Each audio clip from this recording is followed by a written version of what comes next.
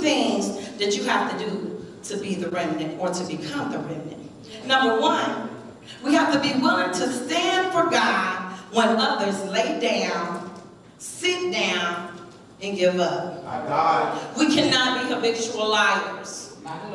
We cannot be habitual liars because if I cannot trust you, you cannot witness to me. You cannot testify for me because I think you lying anyway. I don't believe you. You can't even give the word to me because I'm going to be unaccepting because I know you a liar and I don't believe that God will speak to a liar.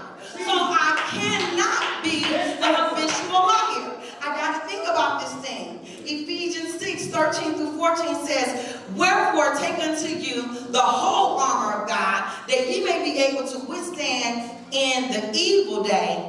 Having done all to stand, stand therefore, having your loins girt about with truth, having on the breastplate of righteousness. Thank you, Lord. The second thing that we have to do to become the remnant is we have to seek peace. Psalms 34 and 14 says, Depart from evil and do good. Seek peace and pursue it. The main thing you need to know is that God is going to fight your battles.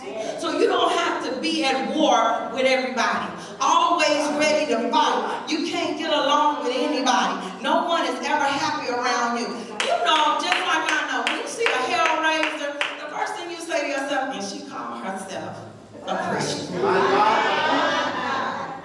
Not being judgmental, but just saying to yourself, what is it that you're not getting Not being judgmental. out of the church word? What is it you don't understand about the Bible that make you want to raise hell all the time?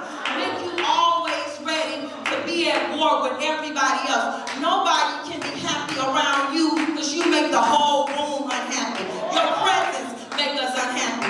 The fact that you coming begins to dampen people's spirit. The first thing they want to